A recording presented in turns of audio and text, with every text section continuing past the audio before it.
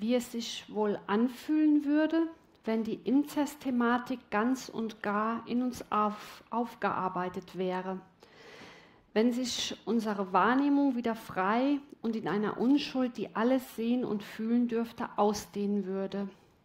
Vielleicht würde eine Magie entstehen, wie sie Samuel in seinem 2001 veröffentlichten Kinderbuch Glitzer, Klimmer, Spotzer, Puster beschreibt. Der Feenprinz kommt von einem Ausflug zurück. Er ist ganz allein mit seinem tiefblauen Teppich ins Universum geflogen. Als sich der fliegende Teppich kurz darauf zu Hause am Rande des Weihers wieder ausbreitet und der Feenprinz sich benommen aufsetzte, um ins Morgengrauen hinauszustarren, sah er in den Nebelschleien über dem Wasser die Elfen tanzen und unter ihnen war eine, die war erfüllt von lauter Licht, und zu ihr hin, von seinem Herzen und Bauch ausgehend, bestand ein starkes, lichtes Band. Er war nicht mehr allein, er würde nie mehr allein sein. Schon zuvor hatte er ein intensives gemeinsames Glück gekannt, mit Lydia, mit der gesamten Gemeinschaft, aber nun war ihm etwas geschehen, was dieses Glück vollkommen machte, was es überhöhte und vollendete. Wenn er hinausschaute aufs Wasser und die Lichtgestalt, die ihm so sehr verbunden war, sich im Reigen mit den Elfen verlustierte, betrachtete, konnte er nicht sagen, sah er Wirklichkeit oder sah er Täuschung. Und doch gab es nichts Realeres, was er sich hätte vorstellen könnte. Er wusste auch nicht, was er sah da draußen, was da tanzte. War er es selbst? Oder war es die Seele von Lydia? Oder war es ein drittes, was in sein Leben und ihr Leben gekommen war? Hatte er sich selbst gefunden und würde deshalb nie mehr allein sein? Hatte er zu einer neuen Innigkeit gefunden, die alle Einsamkeit für immer aus ihr und ihm vertreiben würde? Oder war da ein drittes, dieses eine, welches das Unglück der verlorenen Einheit wieder heilte? Aus eins wird zwei, die Spaltung der Einheit. Welch ein süßes Glück und gleichzeitig welch ein unendliches Verlorensein. Und nun aus zwei wird drei, das große Geheimnis, der Kreis entsteht, das eine aus den vielen, die Geburt der innersten Innigkeit.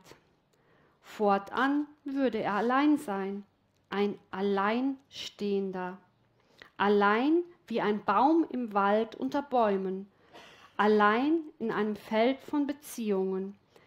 Kein Bezogensein würde ihn mehr befriedigen nach dem Erleben dieses inneren Mysteriums.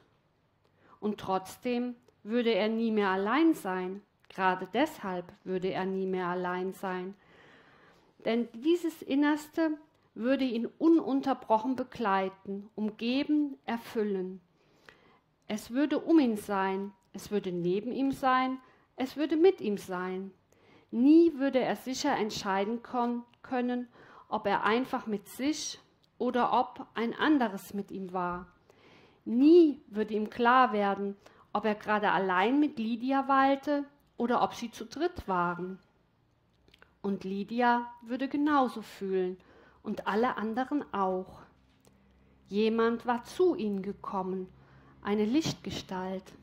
Sie würden sie sehen, zuweilen würden sie mit ihr reden, mit ihr lachen, mit ihr fröhlich sein, und doch würden sie nie die ganze Gewissheit haben, ob da überhaupt jemand war oder ob sie nur träumten oder schlafend oder wach sein würden.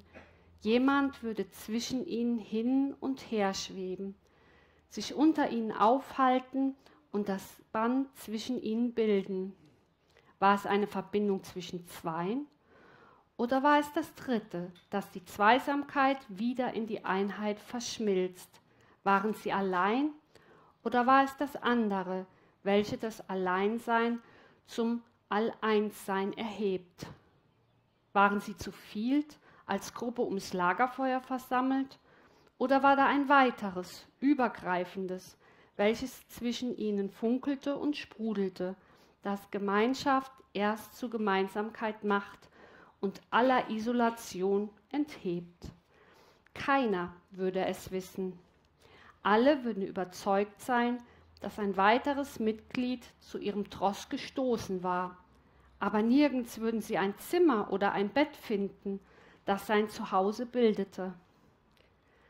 Aber wenn sie unsicher werden und glauben wollen würden, dass es doch nur ein Bild für etwas Unerklärliches, ein Traum von etwas Unfassbarem war, würden sie es ganz konkret wieder vor sich sehen, mit ihm reden und mit seinen goldenen Haaren spielen können oder seine Wangen streicheln. Es war ihnen eben ein Wunder geschehen. Der Feenprinz und die Zauberfee Lydia hatten das Inzest-Tabu überwunden. Und schon bald gesellte sich eine weitere Seele auch zu Lydia dazu. Denn ein Wunder war ihnen geschehen, das wirkliche Wunder, das stärker ist als alle Zauberei, das Wunder, von dem sie schon einmal berührt worden waren, als seine kaum fassbare Braut zum Feenprinzen gefunden hatte.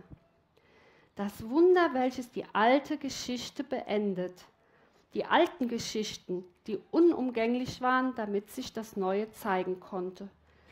Die alten Geschichten, die alle dem Muster verfallen sind, dass aus eins zwei entsteht. Das Wunder, dass dasjenige geschehen kann, was darüber hinausgeht, dass aus eins nicht nur zwei und dann das viele entsteht, sondern dass aus eins zwei und aus zwei drei oder vier und schließlich der Kreis, das eine hervorwächst. Auf jeden Fall saßen sie lange da, der Feenprinz, seine unfassbare Braut und Lydia mit ihrem neu dazugekommenen Ritter. Und dieses eine wallte durch die Räume des Schlosses und darüber hinaus, durchzog die Herzen, war da in ihrem gemeinsamen Nichtdasein, in ihrer Selbstvergessenheit. Der Tee, den sie zusammen hatten trinken wollen, wurde kalt ohne dass ihn jemand angerührt hatte. Und Heimkommen, Heimkommen erscholl in den Herzen, als wäre es für immer da, endlich.